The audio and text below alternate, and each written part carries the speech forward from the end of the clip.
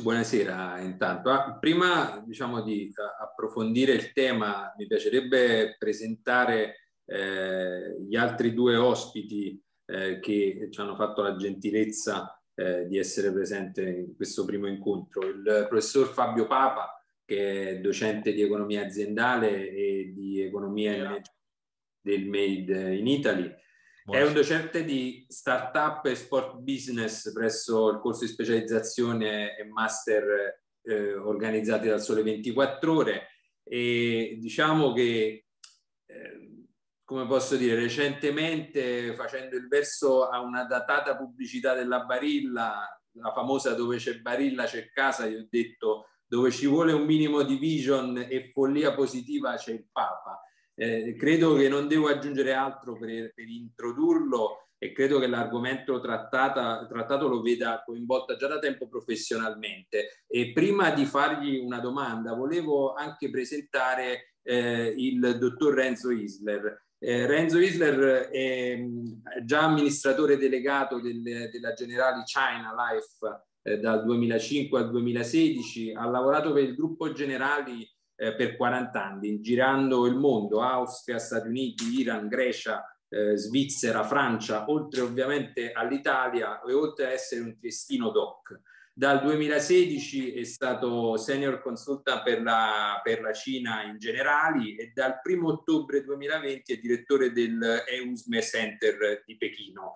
E inoltre direi, e mi dilungo eh, per, per giusti motivi, eh, è, è, inoltre il presidente della USTN Triestina Nuoto, società di nuoto ultracentenaria ormai, nuotatore, pallanotista, è stato una delle prime persone diciamo, eh, che eh, mi ha parlato delle criptovalute ormai molti anni fa e eh, quale direttore del EUSME Center ehm, diciamo, di Pechino ha sensibilizzato eh, ed ha analizzato le possibilità di crescita della tecnologia blockchain nel mondo ed è stato relatore in convegni internazionali sulla materia.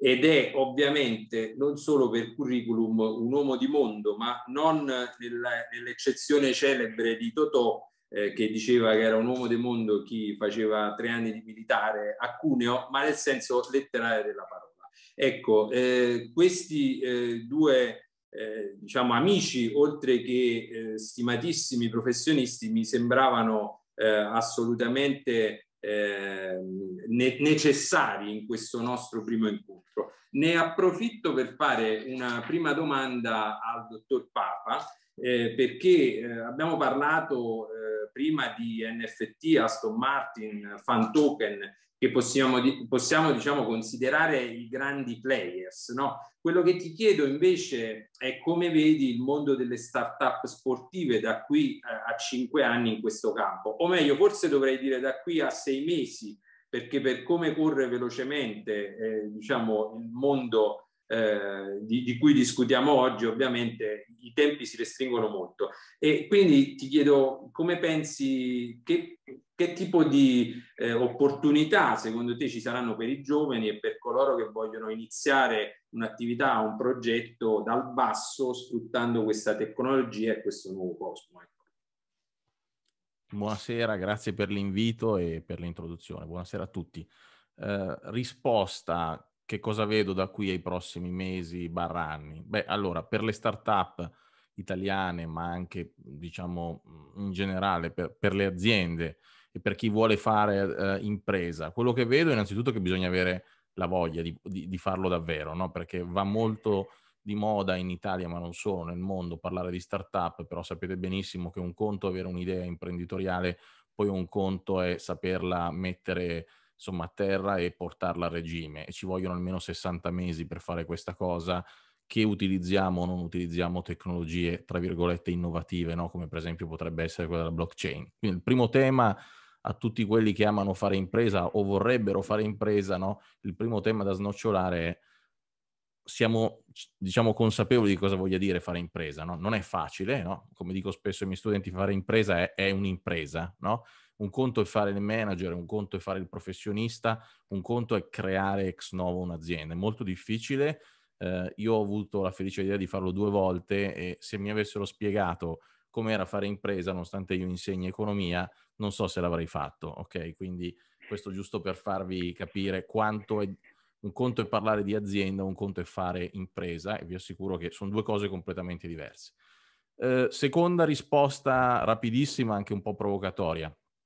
Ma perché tutti parliamo di criptovalute e parliamo uh, di tutte queste bellissime novità? Beh, eh, anche nel mondo sportivo. La risposta è che le aziende si devono inventare nel mondo sportivo, ma non solo, delle nuove modalità con cui creare valore, perché purtroppo se andiamo a vedere eh, i bilanci delle aziende sportive, non solo delle start-up, ma delle aziende sportive in generale, quelle che non sanno gestire sono messe veramente male. Il Covid ha amplificato purtroppo in maniera drammatica l'insostenibilità dei bilanci delle aziende, non parlo solo di quelle famose, ma anche di aziende meno famose, e questo ha portato chiaramente al volersi affacciare a nuove opportunità di business, tra cui quelle legate al tema della blockchain, dei big data e in generale della digitalizzazione. Dico spesso uh, questa battuta a lezione, cioè sembra un po' come quasi una coppia che ha dei problemi e che per risolverli vuole fare un figlio, no? E allora dice, ok, cerchiamo di fare un figlio in questo modo. Io predico sempre il tema della sostenibilità prima, economico-patrimoniale, finanziaria, strategico-organizzativa, anche per le start-up, ma non solo, per poi affacciarsi eh, eventualmente a nuovi mondi e nuovi modelli di business. Quindi per chiudere, io penso che ci siano grandi opportunità per chi ha voglia, per chi è capace in tutto il mondo, anche in Italia, ma non bisogna farsi illusioni, ok? C'è tanto lavoro da fare, bisogna avere competenze e bisogna saper dominare la complessità che c'è dietro i fenomeni di cui stiamo parlando. Grazie Fabio. Io peraltro eh, ovviamente invito il dottor Isler a intervenire se vuole con una delle sue pennellate, ovviamente. Eh, innanzitutto ringrazio, ringrazio Francesco per, questa, per, questo invito che eh, ho preso con, con, grosso entusiasmo perché la cosa è una cosa, cioè tutto il fenomeno delle, delle blockchain è un qualcosa in, in, continuo divenire, cioè fino a un, un, anno fa di queste cose non si parlava. Eh, adesso si parla non solo eh, di criptovalute perché è solamente una, una delle branche eh, che, che, poi sono state il motore che ha creato eh, cioè la, la, la, generazione della, de, della, blockchain poi è stata fatta perché c'era bisogno di dare spazio a, a, a Bitcoin. Però eh, le, le, applicazioni poi del, del, della tecnologia del blockchain sono immense.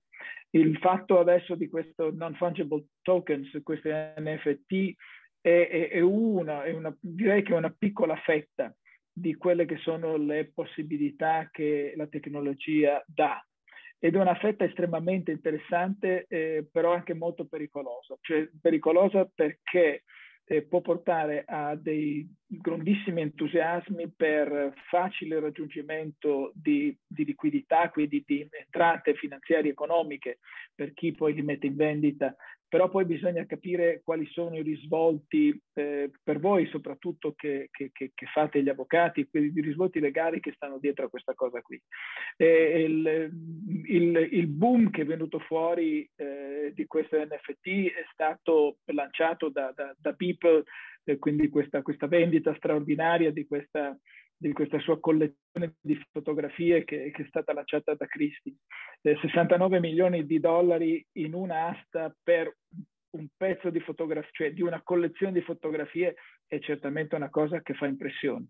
Però alla fine della fiera nel calcio mi sembrava, quando par- parlavate adesso, mi sembrava di pensare di ritornare indietro alle, alle figurine Panini, eh, dove, dove, c'erano le, le, le, fotografie dei calciatori e uno andava a comprarsele in negozio. Quindi eh, nel, nell'NFT viene venduto cosa? Viene venduta l'immagine del giocatore, viene, vengono vendute spezzoni eh, eh di, di, di, di, gol, di cose fatte, eh, perché questo è quello che succede nella NBA americana, dove eh, già da parecchio tempo i grandi giocatori eh, si stanno arricchendo personalmente nella vendita, di, da, dal lancio di queste aste di, di NFT. Quindi il discorso è NFT, chi, chi ne è il proprietario?